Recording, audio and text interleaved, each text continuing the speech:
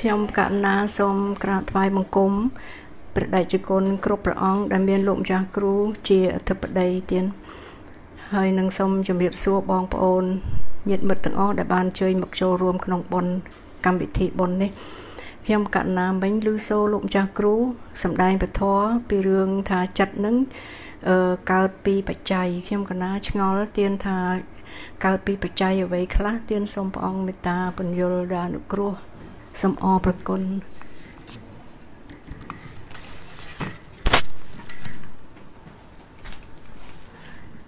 នឹកឃើញអញ្ចឹងរឿងនិយាយបច្ច័យបច្ច័យអញ្ចឹងណាកាលអាត្មានៅក្មេងនៅសាមណេរឡើយកាល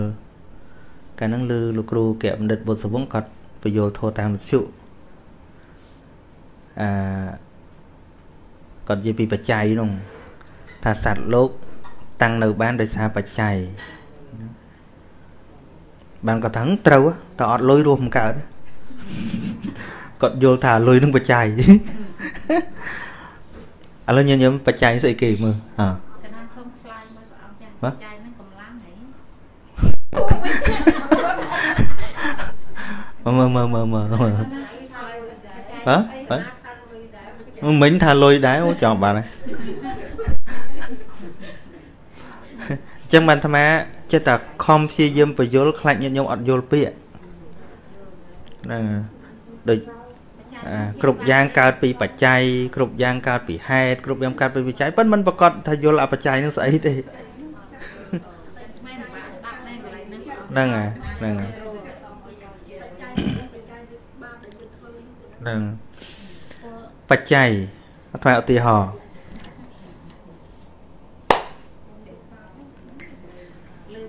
សំឡេងមិញណាសំឡេងនឹងកើតពីការទង្គិចគ្នារបស់ដៃអាត្មានឹងជាបច្ច័យមានន័យថាដៃទាំងពីរនេះគឺជាបច្ច័យឬក៏ហេតុបច្ច័យនិងហេតុមានន័យប្រហាក់ប្រហែលគ្នាចាំបាច់ថាបច្ច័យក៏អត់មិនថាសំឡេងឲ្យពួកយើងសំឡេងនឹងកើតមានព្រោះដៃទាំងពីរនឹងប៉ះគ្នាជាបច្ច័យភាសាធម្មតាហ្នឹងប៉ុន្តែយើងវាមិនដែលនិយាយប ច្ច័យរបស់វាមានន័យថាគ្រឿងបំរុងស្អីមួយឲ្យវាកើតឡើង មានន័យថាគ្រឿងផ្សំឲ្យកើតស្អីមួយទៀតអញ្ចឹងណាគ្រឿងផ្សំដែលវាវាមកគ្រប់គ្នាហើយវាបង្កើតស្អីមួយទៀតហៅថាបច្ច័យបច្ច័យដល់អាស្អីដែលកើតអំពីបច្ច័យហ្នឹងវាជាបច្ចយុបណ្ណៈមានន័យថាផលរបស់បច្ច័យហ្នឹងឧទាហរណ៍ថាចក្ខុវិញ្ញាណកើតពីបច្ច័យតើស្អីជាបច្ច័យណា លើបញ្យលនឹងចក្ខុវិញ្ញាណប្រែថាវិញ្ញាណដែលឃើញរូបមានន័យចិត្តដែលឃើញរូបមើលមកឃើញទេអាតួឃើញហ្នឹងជាចក្ខុវិញ្ញាណក៏ប៉ុន្តែវាកើតពីបច្ច័យអាហ្នឹងមិនមែនកើតឯងទេអញ្ចឹងស្អីដែលបំទំនុកបំរុងវាឲ្យវាកើតឡើងអាស្អីនោះឯងហៅថាបច្ច័យស្អីខ្លះឥឡូវស្អីខ្លះដូចជាដើម្បីឃើញបាននៅពេលនេះទីមួយត្រូវមានភ្នែកតួសាច់ភ្នែករបស់យើងត្រូវមាន តួសាច់ភ្នែកមិនមែនជាអ្នកតួឃើញទេតែវិញ្ញាណដែលអាស្រ័យនឹងភ្នែកជាតួឃើញយល់ទេតួវិញ្ញាណគឺចិត្តចិត្តមិនមែនរូបទេតែចិត្តអាស្រ័យរូបកើតឡើងតួភ្នែកនេះជាតួរូបឃើញទេតួក្របភ្នែកញាតិញោមនេះជាតួរូបហើយចិត្តវាមកអាស្រ័យតនឹងបានចិត្តនឹងឃើញរូបបាន បើមនុស្សបែកភ្នែកចិត្តឃើញឡើងមានឃើញទេ អញ្ចឹងតួភ្នែកជាបច្ច័យមួយ វាជាហេតុមួយ ដើម្បីឲ្យឃើញប៉ុន្តែមានប៉ុណ្ណឹងអត់គ្រប់ទៀតបច្ច័យអត់គ្រប់ទេត្រូវមានរូបមកប្រកបរូបដែលត្រូវឃើញហ្នឹងវណ្ណៈរូបដែលត្រូវឃើញហ្នឹង visible object មានន័យថាស្អីដែលយើងត្រូវឃើញមកប្រកបពីមុខបើរូបហ្នឹងនៅពីក្រោយឃើញទេចឹងតួនាទីរូបដែលមកប្រកបតាមកន្លងចក្ខុហ្នឹងតួរូបនេះជាបច្ច័យមួយទៀតវាជាផ្នែកនៃមួយទៀតផ្នែកឧបត្ថម្ភមួយទៀត ប៉ុន្តែភ្នែកបើកឡោតក៏ដោយរូបនៅពីមុខក៏ដោយខ្វះមួយគឺខ្វះពន្លឺឃើញទេចឹងអាតួពន្លឺនឹងជាបច្ច័យមួយទៀតឃើញគ្រឿងផ្សំឲ្យស្អីមួយកើតឡើងដែលហៅថាបច្ច័យ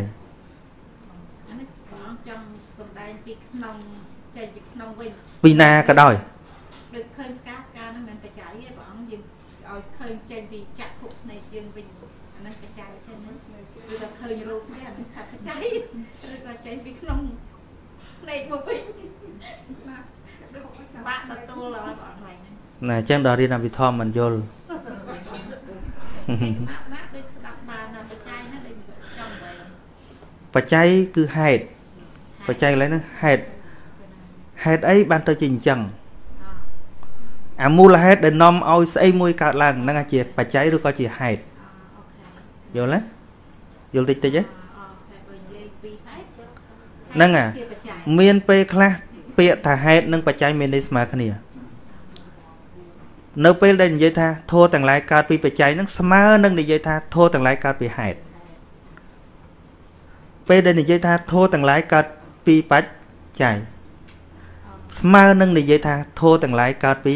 ហេតុពេលថាធម៌ទាំងឡាយហ្នឹងមិនមែនធម៌ក្នុងកពីគឺគ្រប់យ៉ាងក្នុងពិភពលោកនេះឲ្យតលាយជាងពាក្យធម៌ហ្នឹងណា ធัวតាមពុទ្ធធម្មជាតិទាំងអស់ហ្នឹងហើយប៉ុន្តែដែលយើងនិយាយពាក្យធัวថាហ្នឹងដល់ធัวលោកទេសថាមែនទេគ្រប់យ៉ាង គ្រប់យ៉ាងជាបច្ច័យ មិនមែនជាទេវាកើតទល់តែមានបច្ច័យទល់តែមានហេតុទៅកើតឡើងស្អីក៏ដោយទល់តែមានហេតុទៅកើតឡើងទល់តែមានហេតុទៅកើតឡើងអញ្ចឹង ទល់តែមានបច្ច័យត្រួទ្រង់បានកើតឡើងដូចជាអាហារជីវិតរបស់យើងរស់នៅបានដោយសារបច្ច័យគឺអាហារអញ្ចឹងតួអាហារដែលត្រួទ្រង់ជីវិតនេះគឺជាតួបច្ច័យដូចយើងធ្វើបន់បច្ច័យ4អាហ្នឹងតួបច្ច័យដែររស់នៅបានស្រួលដោយសារបច្ច័យមានបណ្ឌបាតមហូបអាហារបើអត់បាយ អត់អាហារនឹងជាបច្ច័យទេអញ្ចឹងតួបាយនឹងជាបច្ច័យមួយត្រួទ្រង់ជីវិតនឹងបច្ច័យហ្នឹងនិយាយបានច្រើនយ៉ាង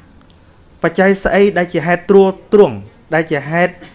ជួយឧបការៈដល់ស្អីមួយយ៉ាងហៅថាបច្ច័យហឹមដូចយើង ប្រើប្រាស់បច្ច័យ4យើងដែលលឺធ្វើបច្ច័យ4ណាប៉ុន្តែថាអ្នកធ្វើបន់បច្ច័យ4ហ្នឹងមិនយល់ទេ ហ្នឹងឡើយតែគិតរលុយដាក់គេប្រសងវាគិតទៅអាលុយនោះធំជាងអាបច្ច័យកើត ហ្នឹងហើយលុយគឺលុយមិនមែនបច្ច័យទេអាហ្នឹងចឹងវែងក៏អីមិនហ្នឹងហើយបច្ច័យមានន័យថាស្អីដែលអាចប្រើប្រាស់បានជាប្រយោជន៍ដល់ស្អីមួយទៀតឲ្យកើតជាស្អីមួយទៀតហ្នឹងហើយលុយស៊ីកើតបច្ច័យគឺបើនិយាយពីវិន័យវិញគឺរបស់ដែលប្រើកើតធ្វើឲ្យជីវិតនឹងស្រួលជាជាគ្រឿងទំនុកបំរុងឲ្យជីវិតនឹងរស់នៅស្រួលហៅថាបច្ច័យ ឧទាហរណ៍ដូចជាបណ្ឌបាតបច្ច័យសម្រាប់អីសម្រាប់បំបត្តិឃ្លានណាហើយដល់ទៅនេះចៃបរៈបច្ច័យសម្រាប់រុំកាយកុំឲ្យវាខ្មាស់គេឲ្យវាចិត្តទៅសេនាសនៈបច្ច័យទីសេនាសនៈកុដិសាលាវិហារដើម្បីកុំឲ្យវាក្តៅកុំឲ្យសុំកាប់តិចទៀតបាទអញ្ចឹងបច្ច័យបច្ច័យហ្នឹងគឺប្រើបានចំពោះអល់តាប្រសងឬក៏ពុទ្ធគ្រប់គ្នា ពុទ្ធណាប្រើមួយអ្នកសាមញ្ញក៏ទទួល មកពីយើងអត់ប្រើណាណាទៅណាមកពីយើងអត់ប្រើតាមពិតពាក្យថាបច្ច័យពីណាក៏ប្រើបានពាក្យថាបច្ច័យនៅក្នុងដើមចេកមួយនោះក៏វាមានបច្ច័យត្រួតត្រងរបស់វាដែរដូចជាវាចេកវារស់បានដោយសារមានទឹកជាបច្ច័យមានន័យថាទឹកហ្នឹងជាគ្រឿងត្រួតត្រងឲ្យចេកហ្នឹងវារស់អាតួជីវជាតិជីដែលធ្វើឲ្យដើមឈើហ្នឹងដោះឡើងអាតួជីតួទឹកតួដីដែលធ្វើឲ្យដើមចេកហ្នឹងដោះឡើង អារបស់ទាំងអស់ហ្នឹងគេហៅថាបច្ច័យតែសារពួកបច្ចជនអត់ដែលនិយាយទៀតអញ្ចឹងបានហ្នឹងហើយមានការខន់ច្រឡំត្រូវហ่ะឃើញទេដល់យើងអត់និយាយគ្នាចឹងទៅដល់ស្ដាប់ធងវែងវល់ពេញហ្នឹងប៉ុន្តែបើនាំគ្នានិយាយញឹកញឹកមើលនាំគ្នាញឹកញឹកមកទៅជាសាមញ្ញកណាដល់ឥឡូវដូចក្នុងក្បាលអាត្មានិយាយពីបច្ច័យក៏ដោយនិយាយពីហេតុក៏ដោយនិយាយស្អីក៏ដោយវាសាមញ្ញអស់ហើយមកពីអីបើអាត្មាគិតរាល់ថ្ងៃនិយាយរាល់ថ្ងៃមានចាំបាច់ប្រឹងខំគិតទៅអីស៊ី ដូចញាតិញោមទៅឃើញអាសៀកគេពួតខ្លួនណាពួតយកកកូតមកដាក់លើក្បាលណាយើងទៅធ្វើផ្លេតធ្វើឲ្យដូចមើលបាក់ចកេះងាប់យើងវែងទៅណានិយាយបច្ច័យគេឆ្ងល់ហ្នឹងហើយប៉ុន្តែដល់គេធ្លាប់ធ្វើគេដាក់ខ្វាច់ដល់ខ្វាច់ដល់ប្រឹងហ៎មានប្រឹងហ៎អត់ទេអត់ទេដូចស្មាននិយាយរាល់ថ្ងៃពាក្យបច្ច័យពាក្យហេតុពាក្យស្អីស្អីស្មានអត់មានប្រឹងទេប៉ុន្តែជួនកាលស្មានវាភ្លេចខ្លួនដែរស្មានញាតញោមយល់ ចេះនិយាយថាគ្រប់យ៉ាងហេតុពីហេតុគ្រប់យ៉ាងកើតពីបច្ច័យមកយល់អស់ហើយអត់យល់ផងស្រេចត្មងអត់គ្រប់យ៉ាងកើតពីបច្ច័យលោករលុយទៀតហើយចប់មកហ្នឹងគ្រប់យ៉ាងកើតពីបច្ច័យហ្នឹងមានន័យថាខិនវត្ថុធាតុនៅក្នុងលោកនេះវាមិនដែលតាំងនៅតែឯងបានទេឧទាហរណ៍នេះឥឡូវអណ្ដាតភ្លើងនេះវាអាច តាំងនៅបានព្រោះមានបច្ឆេះនឹងជាបច្ច័យអាបច្ឆេះរបស់វានឹងជាបច្ច័យហើយអាសាច់ទៀននឹងគឺជាបច្ច័យត្រួតត្រងឲ្យការឆេះនឹងកើតឡើងហើយមានខ្យល់ទៀតមានអុកស៊ីហ្សែនទៀតអាគ្រប់យ៉ាងដែលធ្វើឲ្យទៀននឹងឆេះទៅបាននឹងឯងជាបច្ច័យរបស់អណ្ដាតភ្លើងនឹងមានតែជាគ្រឿងប្រុងជាគ្រឿងតែងជាគ្រឿងតាក់តែងជាគ្រឿងទ្រជាគ្រឿងជួយជាគ្រឿងឧបត្ថម្ភអានឹងហៅថាបច្ច័យយល់យល់ខ្លះយកខ្លះខាងទៅកណ្ដាល ហ្នឹងហើយហ្នឹងហើយហ្នឹងហើយហ្នឹងហើយអដូចយើងខឹងមិនមែនខឹងឯងឯងវាមានបច្ច័យរបស់វាត្រូវលឺគេជេរអញ្ចឹងអាពាក្យគេជេរនឹងជាបច្ច័យមួយឲ្យចិត្តនឹងវាខឹងដែរកន្លែងហ្នឹងព្រះអង្គថាអនិច្ថារមណៈសមាយោគោជួបនៅអារម្មណ៍មិនជាទីប្រាថ្នារឿងដែលមិនជាទីប្រាថ្នារឿងដែលមិនជាទីកប់ចិត្តដូចគេជេរដូចគេបចោអីចឹងមកយើងមានចង់លឺណា ដល់លឿននឹងភឹបអានេះភឹបចេញមកឃើញណាបើមិនលឺជេរមានទៅខឹងអីវាអញ្ចឹងអាពាក្យជេរហ្នឹងវាជាបច្ច័យខាងក្រៅមួយវាវាងុំតួងវាឲ្យភឹបចេញមកហ្មងអូនឹងនិយាយបច្ច័យខ្លាំងដែរថាគ្រប់យ៉ាងឲ្យតែវាជាហេតុបង្កឲ្យស្អីមួយកើតឡើងគេហៅថាបច្ច័យហើយបាទ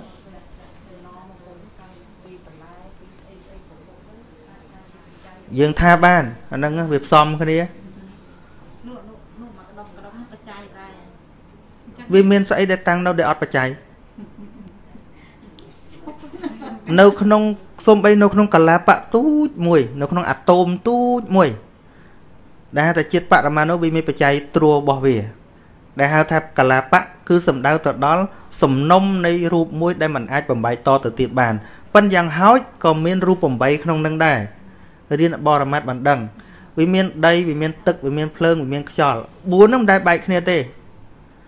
អញ្ចឹងអាដីនៅបានដោយសារទឹកភ្លើងខ្យល់អាភ្លើងនៅបានដោយសារដីភ្លើងដីដីខ្យល់ទឹកអាទឹកនៅបានដោយសារដីភ្លើងខ្យល់វារួមគ្នាវារួមគ្នាឧទាហរណ៍មួយទៀតឥឡូវថារួមយកចកឹះឲ្យអាត្មាមើលយកចកាពូយកចកឹះ3យកចកឹះ3 អត់ទេពូភាសាហ្នឹងពិបាកទទួលអូពួកយើងរាល់គ្នាគិតថាពាក្យបច្ច័យហ្នឹង ចៃនឹងលុយភាសា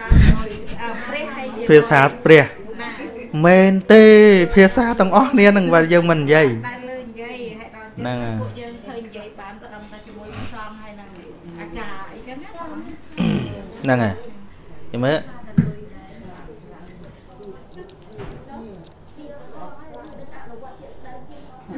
គាត់ជាក់ស្ដែង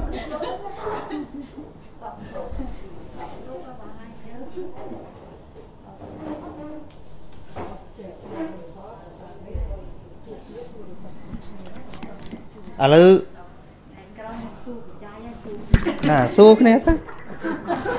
មកទៅទូ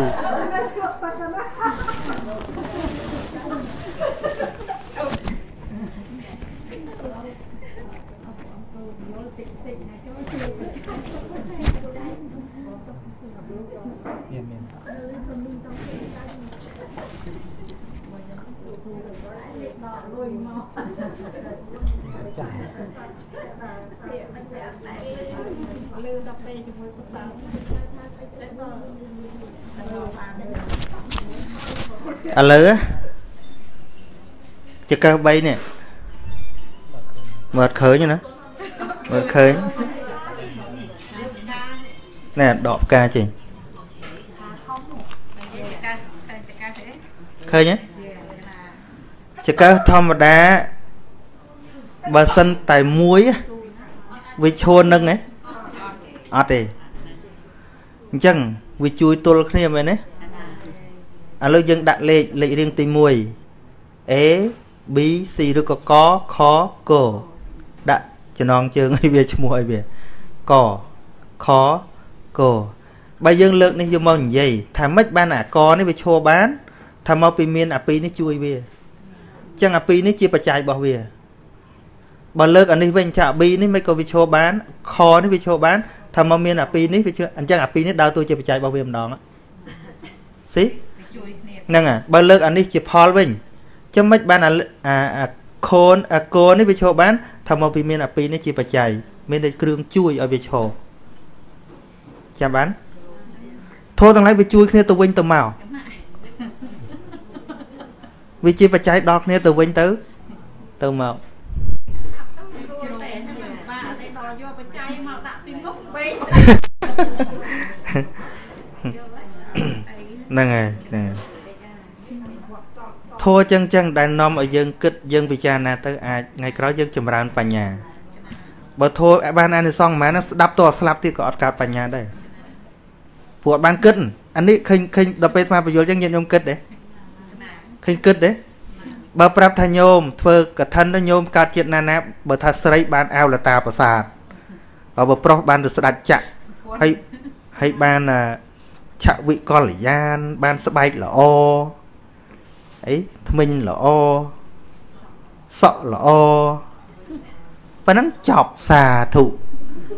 ប៉ុន្តែដឹងច្បាស់អ្នកស្ដាប់នឹងដឹងច្បាស់ថាមុខតបានមែនទេអត់ទេថាតាមលោកហ្នឹងហើយលោកនឹងសួរលោកច្បាស់ហ៎លោកនឹងក៏អត់ច្បាស់ដែរតែបើយើងសិក្សាពីបច្ច័យបច្ចុប្បន្ននេះយើងអាចឃើញទាំងអស់គ្នា មេគេពុទ្ធឲ្យយើងរៀនពីបច្ចុប្បន្នភាពនឹងដូចញាតិញោមកំពុងស្ដាប់អាត្មាអញ្ចឹងដើម្បីស្ដាប់ឲ្យយល់តើញាតិញោមត្រូវផ្ដោតលើពាក្យអាត្មានិយាយឥឡូវនេះឬក៏ពាក្យនិយាយម្សិលមិញឥឡូវនេះឥឡូវនេះកំពុងស្ដាប់នេះឥឡូវនេះដើម្បីឲ្យយល់តើត្រូវផ្ដោតលើពាក្យដែលកំពុងនិយាយនេះឬក៏ពាក្យដែលនឹងនិយាយ20នាទីក្រោយឥឡូវនេះឃើញទេវាទល់តែឥឡូវនឹងបានយើងចាប់បានស្អីក៏ដោយ ផ្ដោតទៅលើឥឡូវនឹងបានចាប់បានពពុតឲ្យយើងគិតពីរឿងឥឡូវនឹងប៉ុន្តែយើងរាល់ថ្ងៃធ្វើបន់វាមិនចង់បានយល់ឥឡូវនឹងអឺកាត់ជាតិណាណាមានបញ្ញាហើយជាតិនេះឲ្យល្ងងរហូតទៅចឹងភាកច្រើនចឹងឥឡូវយល់ទេវាជួយគ្នាបានវាឈរបានអញ្ចឹងណាដែលវាជាជាឧបការៈជួយឲ្យអដតីទៀតឈរបានហ្នឹងហៅថាបច្ច័យហ្នឹងហើយ